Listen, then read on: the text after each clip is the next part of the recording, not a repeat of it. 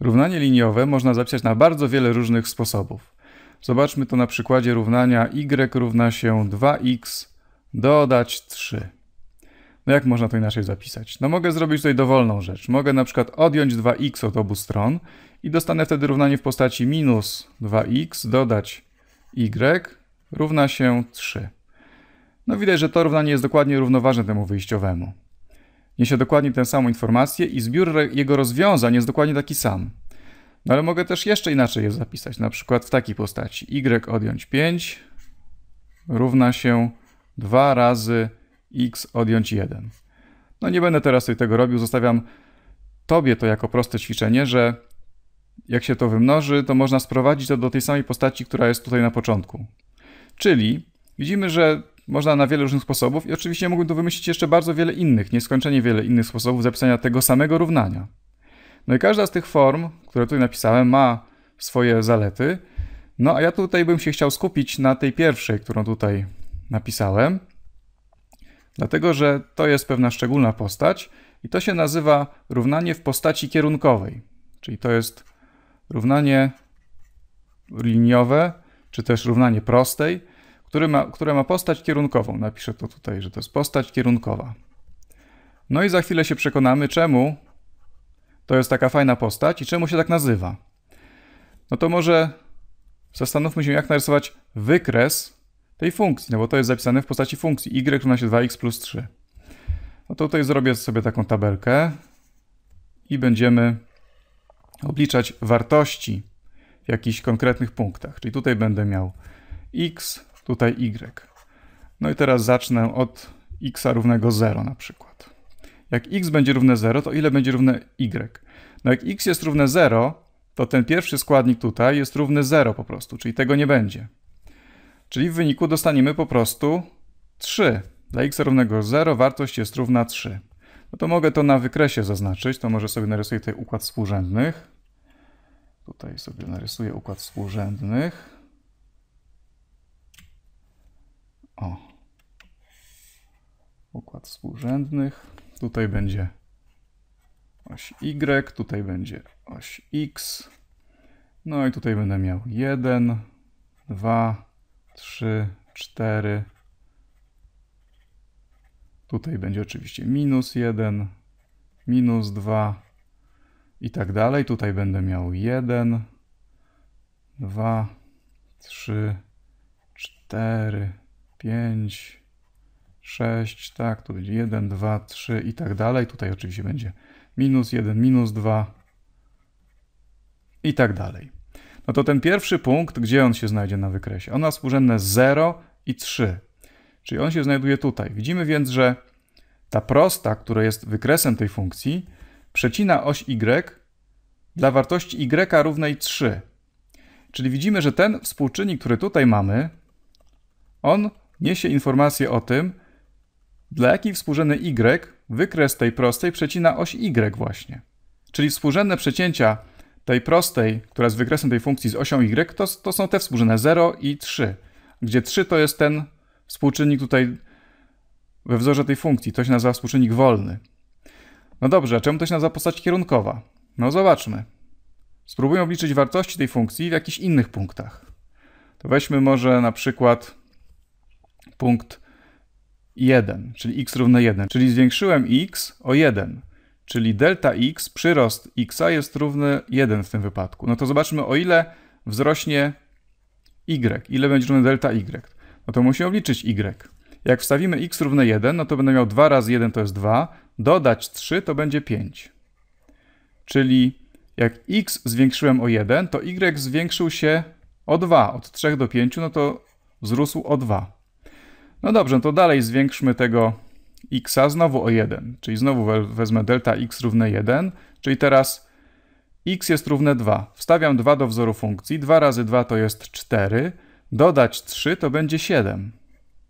Czyli o ile wzrósł y, o ile wzrosły wartości funkcji, no y znów wzrósł o 2. No i tak dalej, jak będziemy to dalej tak robić, no to widzimy, że za każdym razem jak x zwiększamy o 1, to y wzrasta o 2.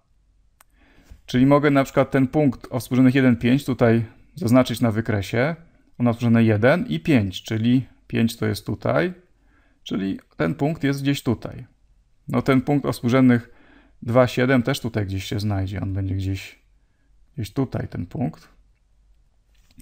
No i widzimy, że rzeczywiście jak x rośnie o 1, tutaj mamy delta x równe 1, to y rośnie o 2.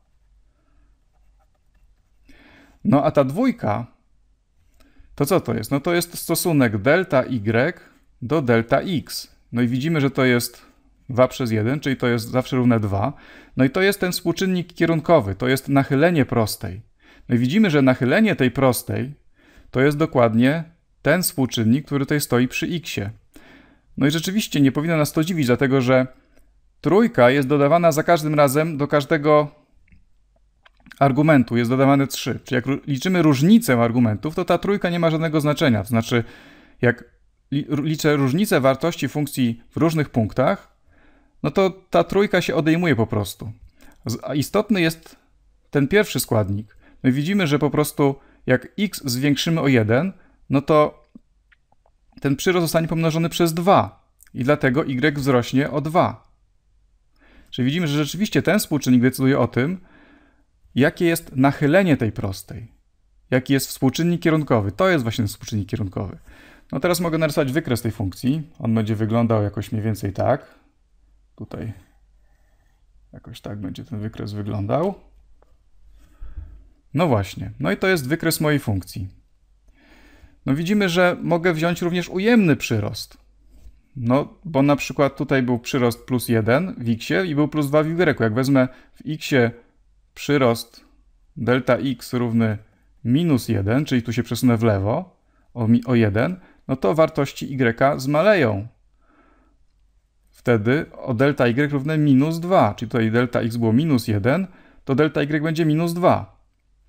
No rzeczywiście, jak tutaj wstawię wartość x minus 1, no to wartość funkcji będzie jaka? 2 razy minus 1 to jest minus 2, dodać 3 to jest 1.